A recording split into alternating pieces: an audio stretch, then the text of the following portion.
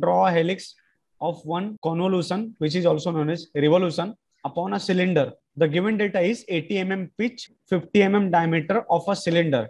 So two data has been given to us. This vertical height, which is 80 mm, and the diameter of this circle is 50 mm, which is the base of 50 mm. The rectangle is 50 by 80.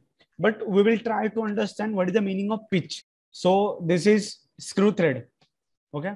Now you can see over here, this is known as the thread. So the distance between two consecutive thread means the one thread after the another thread means adjacent thread. ये दोनों thread के बीच का distance जो है इसी को हम लोग क्या बोलते हैं pitch the definition of pitch is that it is a distance between two consecutive thread you can see over here ये अपना थ्रेड है this is a thread now you can see over here from here to from here whatever the distance is that is known as the pitch this is the angle. The bottom one is known as the root. Upper one is known as the crest. I think you have understand what is the meaning of pitch. Now i have noted over here oh, the axial advance during one complete revolution is called the pitch of the helix. Now you can understand that by one example. Okay? L let us try to uh, understand this pitch by nut and bolt. Okay? We are having the bolt we are having the nut. So in one revolution means in 360 degree. If the nut is being rotated by 360 degree means if the nut is completing one revolution so nut will be moving some distance on the upper side on the on lower side. Okay depends on the rotation of nut clockwise or anti-clockwise. So in one rotation the nut will cover some axial distance. The nut will cover some axial distance. And that axial distance covered by nut in one revolution that is also known as pitch and when we open that particular thread of one complete revolution okay so that is known as lead. So how to draw the helix? The helix curve will look like when we will open that particular thread of one complete revolution. So that will look like this. Now how to draw or how to proceed the helix?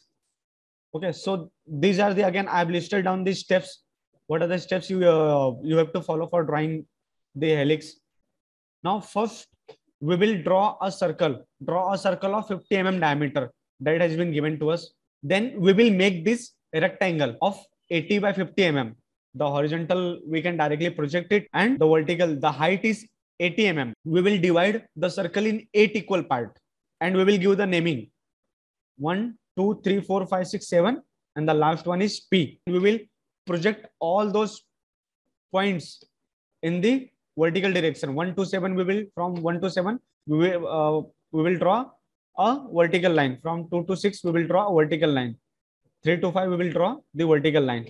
Definitely, if we the uh, the line will pass through point number five and three on the uh, on the same line, we will divide this vertical line in eight equal part. This line, this vertical line 80 mm ka line 10 10 mm or 1 1 centimeter okay we can directly take and we can divide this vertical line in 8 equal part and draw the horizontal line okay and give the naming. 1 2 3 4 5 6 now wherever the horizontal line from 1 and the vertical line from 1 intersects mark that point okay.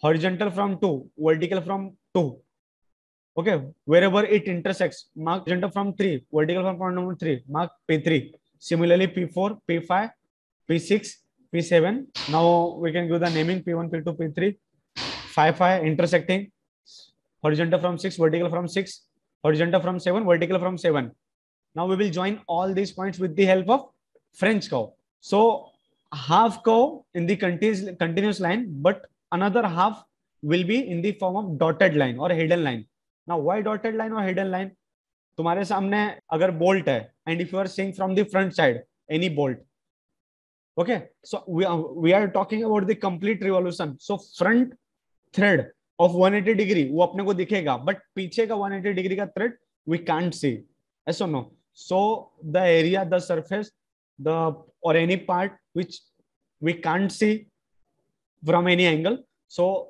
that is being uh, shown by hidden line. So this is how we draw the helix. Okay, I think it's very simple. First, you have to draw the circle, divide in eight equal part. The distance between uh, circle and rectangle, this vertical distance is 10 mm. You can take 15 mm. Draw a horizontal line. Okay, project all the points on this horizontal line. the vertical height of this rectangle is 80 mm. The, project all the points from, from the circle in the vertical direction. Divide this vertical line in eight equal parts.